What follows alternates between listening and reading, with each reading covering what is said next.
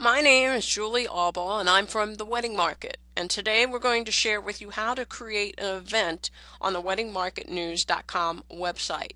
But before you do this you must have a profile on our site before you can even create an event. Go to the events tab at the top of the page and then click add on the right. Once you do this then you can put in an event on our website put in the title of the event. You can also upload an image which might be existing on our website or you can upload one from the computer. Just click open and then done. Put a detailed description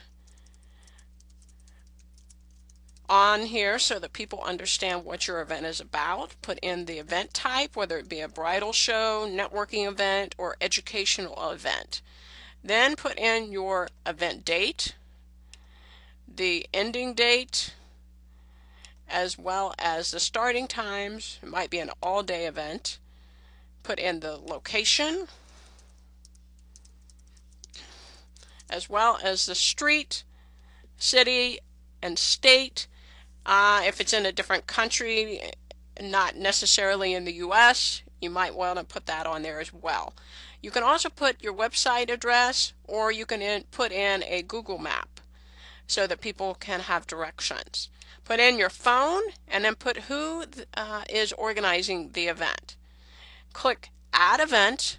Once you do that, your event will show up at the top of the event page.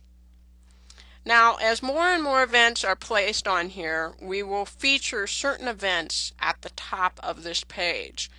We will also have the capability of sharing photos at the top of the page for certain events. We can also share videos uh, also at the top of the website. One of the things we can also do on the home page is put banner ads about your event on the right hand side as well as the top as well as on the left hand side in the photo section. We are doing something different this year in the event area in the respect that we can create videos about your event, we can tweet and put information on Facebook so everyone knows what is going on or what is taking place. We also can feature your calendar event on Facebook as well as Twitter.